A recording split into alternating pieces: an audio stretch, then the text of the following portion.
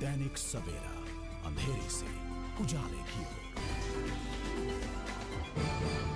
फरीदकोट, मोगा और संगरूर में सिख प्रदर्शनकारियों और झड़प एवं पुलिस फायरिंग में मारे गए दो लोगों की मौत के विरोध में विभिन्न सिख संगठनों ने पंजाब बंद का ऐलान किया था। सिख जथेबंदियों द्वारा की गई इस पंजाब बंद का प्रभाव लुधियाना में भी देखने को मिला। इजरान बाज़ार भी बंद रहे एवं सिख संगठनों ने लुधियाना के अलग अलग हिस्सों में शांतमय रोष भी व्यक्त किया। इसके बाद सिख संगठनों ने लुधियाना के जगराओं पुल पर एकत्र होकर शांतमय ढंग से रोष व्यक्त करते हुए श्री गुरु ग्रंथ साहिब जी की बेअदबी करने वालों के खिलाफ कार्रवाई करने की मांग उठाई। इस मामले को देखते हुए लुधियाना के अलग अलग हिस्सों में सुरक्षा के कड़े प्रबंध करते हुए पुलिस द्वारा चौकसी रखी जा रही है लुधियाना से कैमरामैन रोहित कुमार के साथ सुरेश गर्ग की रिपोर्ट ਅੱਜ ਜੋ ਰੋਸ ਰੋਸ ਪ੍ਰਦਰਸ਼ਨ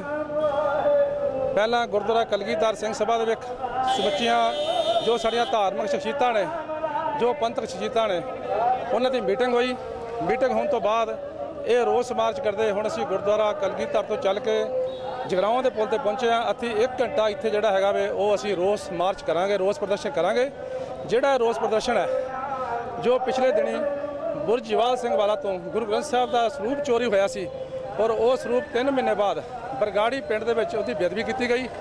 ਔਰ ਉਸ ਤੋਂ ਬਾਅਦ ਕੋਟਪੁਰਾ ਵਿੱਚ ਬੈਠੇ ਨਿਹੱਥੇ ਸਿੱਖਾਂ ਤੇ ਗੋਲੀ ਚਲਾਈ ਗਈ ਔਰ ਸੈਂਕੜੇ ਸਿੱਖ ਜਿਹੜੇ ਸਾਡੇ ਉਹ ਜ਼ਖਮੀ ਹੋਏ, ਦੋ ਸਿੰਘ ਸ਼ਹੀਦ ਹੋਏ, ਇਹ ਉਹਨਾਂ ਲਈ ਅਸੀਂ ਰੋਸ ਪ੍ਰਦਰਸ਼ਨ ਕਰ ਰਹੇ